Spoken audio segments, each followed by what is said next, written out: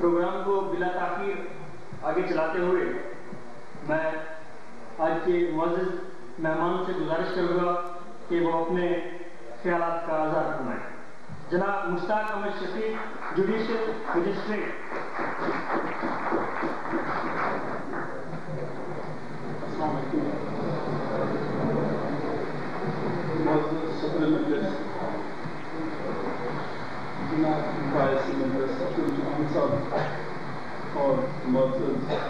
हाजिर जवान अब्दुल जहान साहब ने मुझे मेहमान के तहत बनाया फिर भी मैं हूँ बहुत सी बातें इनके हवाले से आप लोगों ने सुनी मुझे सिर्फ़ इनके बारे में यही बात कहना है कि उम्मीद इंसानी ज़िंदगी की सबसे बड़ी दौलत होती है अफजल चौहान की ये खुशबख्ती है कि उम्मीद के शायर हैं। उनकी नज़र मेरे सामने है। कि उसे कहना हवाएँ जब तेरा पैगाम लाती हैं। उसे कहना हवाएँ जब तेरा पैगाम लाती हैं। मेरे अंदर का मौसम फिर नई करवट बदलता है। उसे कहना हवाएँ जब तेरा पैगाम लाती हैं।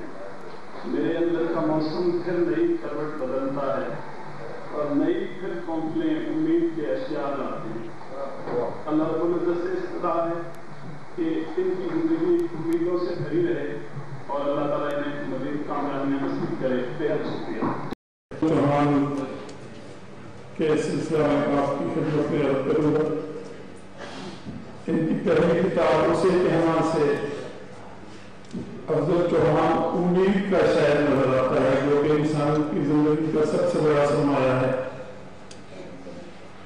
उनके चार आईने मेरे ध्यान में आ रहे हैं कि उसे कहना हवाएँ जब तेरा पैगाम लाती हैं मेरे अंदर के मौसम एक नई करवट बदलते हैं तो अल्लाह रब्बुल फतह से दोस्तों को सदा मानो ध्यान रखे इनको अपने खुदा फरमाए हुए इंसान के दिल में उम्मीद की किरण को जगमगाते की सही मसरूफ नज़र आते हैं।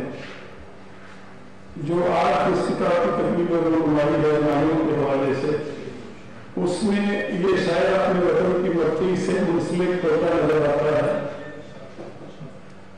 तो उसमें जज्बा हब्बुल वतनी की अक्सी नज़र आती है। उनका मैया अभी मेरे दोस्त मुकाले में भी के गए हैं कि मट्टी मेरे गाँव की मट्टी गाँव की, जाने जंजीर है पाँव की।